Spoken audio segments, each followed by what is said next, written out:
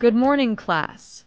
Our topic today is classification of fish according to their habitat.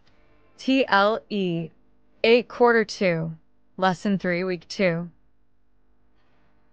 Content Standards. The learners demonstrate an understanding of the concepts and skills in fisheries. Performance Standards.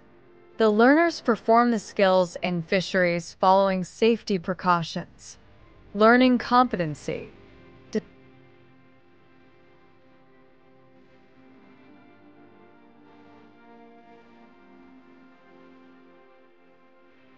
Learning objectives.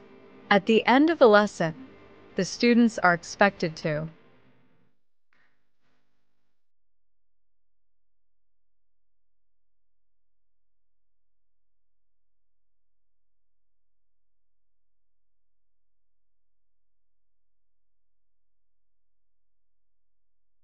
Marine or open sea fishes.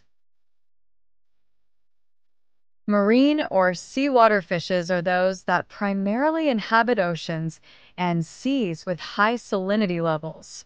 Examples are tuna, cod, salmon, flounder, mackerel, swordfish, sardines.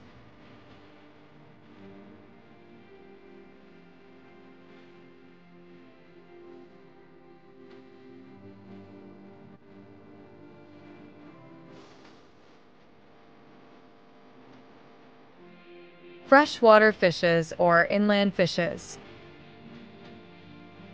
These fish species primarily inhabit rivers, lakes, ponds, and streams with low salinity levels.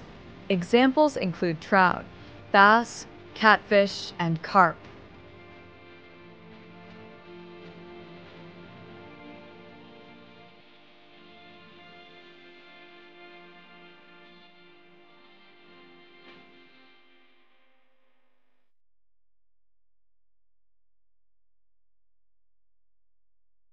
Brackish water fishes, or estuarine fish.